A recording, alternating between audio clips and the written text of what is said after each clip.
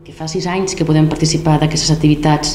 amb tots els nostres alumnes. A l'Escola Pia fem el cicle formatiu de grau mig i de grau superior d'activitats físiques i esportives i aquestes activitats també permeten, per una banda, doncs, organitzar que els nanos puguin posar en pràctica competències professionals que eh, doncs, treballen a l'aula i les poden posar doncs, a la realitat. Eh, per una banda, doncs, treballem amb, amb el rodejoc fent bàsicament monitoratge, eh, llavors els 75 alumnes que hi ha doncs, normalment cada curs, entre grau mig i grau superior, formen part d'aquest monitoratge poden eh, doncs, col·laborar perquè aquesta activitat es pugui portar a terme i amb l'Orientolot treballem des del que seria la planificació i organització amb l'empresa Ligots, que més endavant suposo que també comentaran, eh, que és la que s'encarrega d'ajudar-nos a, a poder participar, a poder realitzar diguéssim aquesta activitat. Um, aquests alumnes també participen en el que seria uh, la formació, anar a formar, doncs, a, fan una petita xerrada als alumnes de primer d'ESO, eh, doncs, que també primer ells la reben, reben aquesta formació, després ells a posteriori doncs, la porten a terme a les escoles, i tot això es porta a terme perquè hi ha una comissió, una comissió creada des de, amb els professors i amb els, i amb els alumnes de grau mig i de grau superior i podem fer cada any doncs, possible aquesta, aquesta activitat. Penso que és una experiència molt interessant per tots els nanos, principalment pels som nanos grans, eh, perquè donen des de 16 fins a 20 i pico d'anys, però com a competència o com a activitat per desenvolupar competències és molt bona. Posen en pràctica tot allò que, que des de dinamització, eh, organització, planificació i qualsevol altre aspecte. Penso que el més important per nosaltres és el fet que és un treball, com han dit molt bé, interdepartamental i és un bon treball en xarxa. Aquí hem implicat des de fa molt de temps, penseu que ens reunim amb tots els mestres d'educació física a tota la comarca. Això no és fàcil, i venen, i participen, diuen la seva, i, i treballen, i no només hi diuen la seva, sinó que l'organització, en el cas del rodojoc, també hi són, no només hi som els tècnics la, eh, és una activitat tant una com l'altra que entroca totalment amb l'esperit de ciutat educadora. Per què? Perquè pretenem és eh, que hi hagi una, grups heterogenis, és a dir, que la mainada i els joves es barregin de tots els centres, de,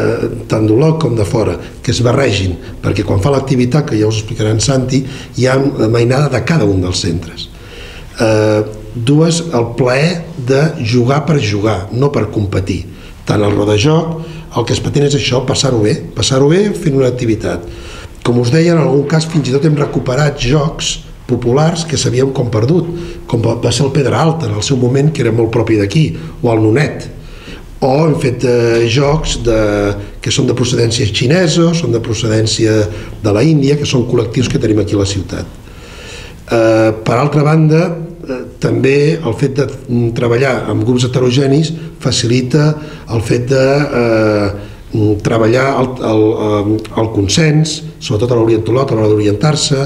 és a dir, el, tot, tot per nosaltres el més important és tot aquest treball en xarxa i la implicació de tanta i tanta gent. Per acabar-ho de rodonir, per exemple, l'any passat eh, vam crear una cançó, una cançó del rodajoc, després de tants anys, la vam crear, la vam estrenar l'any passat, i una coreografia. Doncs bé, la cançó del rodajoc, qui la va fer? Els alumnes de l'Escola Municipal de Música. La coreografia, aquests monitors que són alumnes del cicle formatiu. Per tant, aquí el que per nosaltres és molt important és que amb la voluntat i amb l'ajuda de molta gent podem fer coses molt interessants, molt engrescadores i molt sostenibles perquè l'aplicació de tanta gent fins i tot diríem que el cost és, és molt, molt, molt assequible i val molt la pena, sobretot la mirada educativa que estem donant a això i el fet de que tota la veïnada d'una edat determinada ho fa, tant de tercer com de primer d'ESO i es podem atrevir a dir que som l'única comarca de tota Catalunya que fa això com a tota la comarca, no ho fa ningú més. Hi ha el rodejoc de Figueres, hi ha el rodejoc de la zona del Raval de Barcelona, però com a tota la comarca, aquesta visió tan global, podem dir amb orgull que som l'únic lloc que ho fem. Per tant, és expressar això, no? la, la, la, unió de forces que hi surten bé les coses. El rejoc es fa el dia 24, es fa l'esplanada, ai perdó, el dia 12 d'abril es fa l'esplanada de l'estació i el rejoc eh, consta de les següents, són tres espais iguals, amb 14 espais, 14 zones a cada espai, que hi ha 12 jocs i 2 zones de descans. Llavors els nens quan arriben, eh, cada nen se li ha assignat un grup, se'n va a la zona on correspon al seu, al seu grup, i a partir d'allà comencem el, els jocs. Eh? Cada, cada, cada zona hi ha un joc diferent, 7 minuts juguen a aquell joc i cada 7 minuts fa canvi de joc i el que estava a l'espai 1 passa al 2, el 2 passa al 3 i així anem fent tota la volta fins que tornem al lloc, al lloc d'origen. Eh? I allà s'acaba el rodajoc i llavors fa la cançó que us he dit abans, abans en Lluís i s'acaba el, el que és purament el rodajoc. Aquí tenim dues hores de descans, cada set jocs els hi toca descansar una miqueta eh, i els donem una mica d'aigua i galetes i els voluntaris de la Creu Roja que ens ajuden cada any i d'aquesta manera que serien, si no serien dues hores, una hora i mitja, dues hores jugant seguidament que els nens són nens de tercer també els hi va bé de tant tant reposar una miqueta vale, això seria el que seria el, una mica el de joc, els grups són de, de 12 nens n'hi ha dos o tres de cada escola vale? perquè per el que dèiem en Lluís interessa que, que es coneguin, que es barregin vale? i llavors bueno, doncs, eh, en total hi ha uns, uns 14, 50, 52, 42 grups eh? que són els que estan repartits i llavors l'orientador es fa el dia, el dia 24 és un dimecres es fa allà al camp de futbol de Pla de Baix al costat dels Mossos d'Esquadra i aquí hi ha uns 60 grups formats de, de 9 persones, llavors els nanos de, dels instituts arriben allà al matí, busquen el monitor que correspon al seu grup i anem fent sortides de grups de 3 en 3 que fan, els donen un plano de, de la ciutat amb una targeta que han de buscar les fites i llavors cada grup quan surt eh, té un recorregut diferent assignat. Eh, i volten una miqueta per la zona de, del Montsecopa i tots passen també pel centre de la ciutat, fem una barreja de circuit de muntanya i, i ciutat, amb un punt